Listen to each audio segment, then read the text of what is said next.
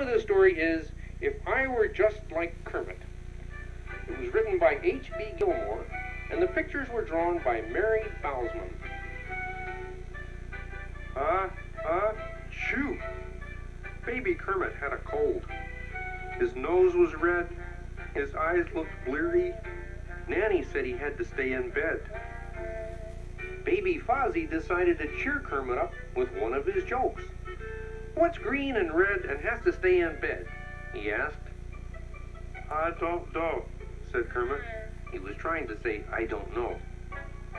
You are, Baby Fozzie exclaimed. You are green, your nose is red, and today you have to stay in bed. Kermit did not laugh. He just sighed and sneezed again. Ah, ah, ah, chew! I need some rest. That meant I need some rest. Then he rolled over and went to sleep. I have failed, said Fozzie sadly as he shuffled away.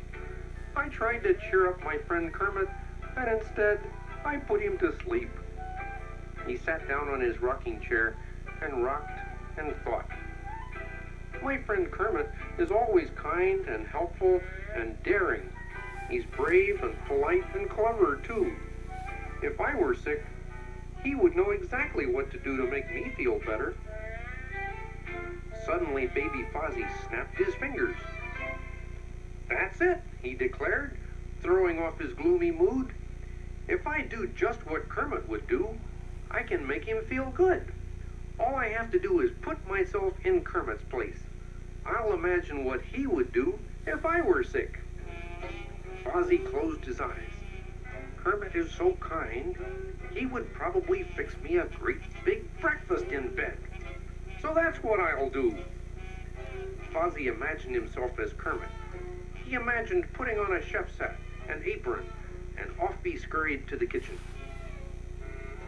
Fozzie found some butter and six eggs. He dropped three of the eggs on the floor and scrambled the others in the frying pan. Then he put two nice thick slices of bread in the toaster. He let them toast while he hunted for jam. The butter started to melt. The eggs and toast began to burn. Fozzie finally found the jam behind a pile of cans that toppled off a shelf.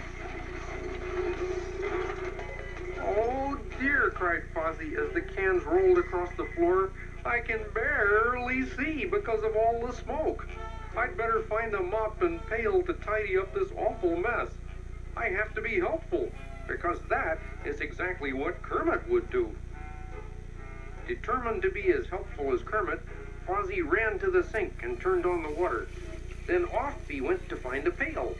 He hurried as fast as he could, but the water was faster than he was. By the time baby Fozzie returned to the kitchen, there was enough water on the floor for a seafaring bear to go sailing. What would Kermit, who is daring,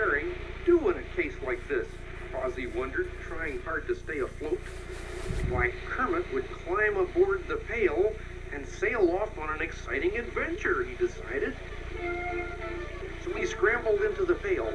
The muff made a very fine oar. He peered through his spyglass in search of a distant shore. All of a sudden, baby Fozzie gulped, and he gasped, and he dropped his spyglass. He couldn't believe what he had seen. It was huge. It swam like a fish. Its tail was spiky and green.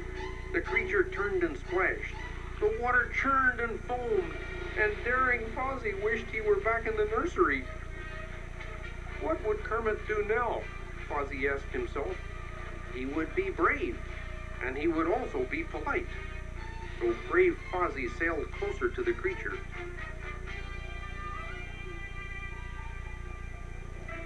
Excuse me, he said politely to the beast, who was hidden behind the foam. It's a pleasure to meet you. My name is Fozzie, and I'm trying my best to get home. The creature's head poked out of the waves. Fozzie took one look and smiled. It was only a baby sea monster who had been taking a bubble bath. The little sea monster stared shyly at Fozzie. Its tail trembled with fright. Then it hiccuped a bouquet of bubbles and dove quickly out of sight. Fozzie was starting to feel very hungry. It must be lunchtime, he said to himself.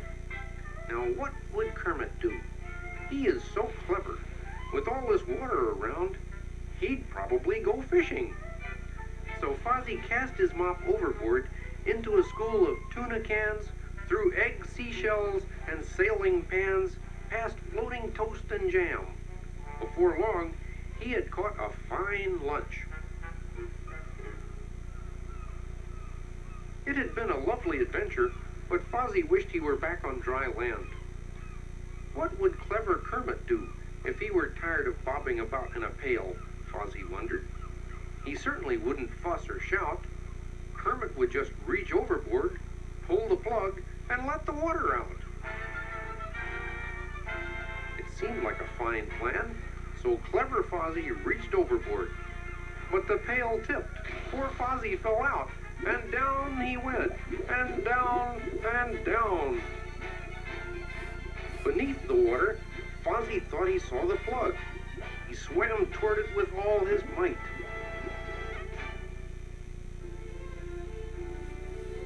The next thing Fozzie knew, he was staring at Nanny's shoes. Fozzie, why are you trying to swim on the nursery floor? Nanny was asking. Oh my, you've got a lump on your head. You must have fallen off your rocking chair. I better get you right into bed. When Kermit woke up, he was feeling much better. He found baby Fozzie lying next to him. Fozzie had an ice pack on his head. Happened to you? Kermit wanted to know. Well, I thought that if I were just like you, I'd know how to make you feel better, Fozzie explained to his friend. So I tried to be kind, helpful, and daring. And I tried to be brave, polite, and clever, too. But, said Fozzie, sighing, I'm really much better at being myself than I am at being like you. Well, that's good, said Kermit, because I like you just the way you are. You do? asked Fozzie, smiling at last. Well then, how about a new joke? What's brown and very funny and has to stay in bed? he asked, feeling like his old self again. Kermit laughed. My best friend, he said, the one and only Fozzie.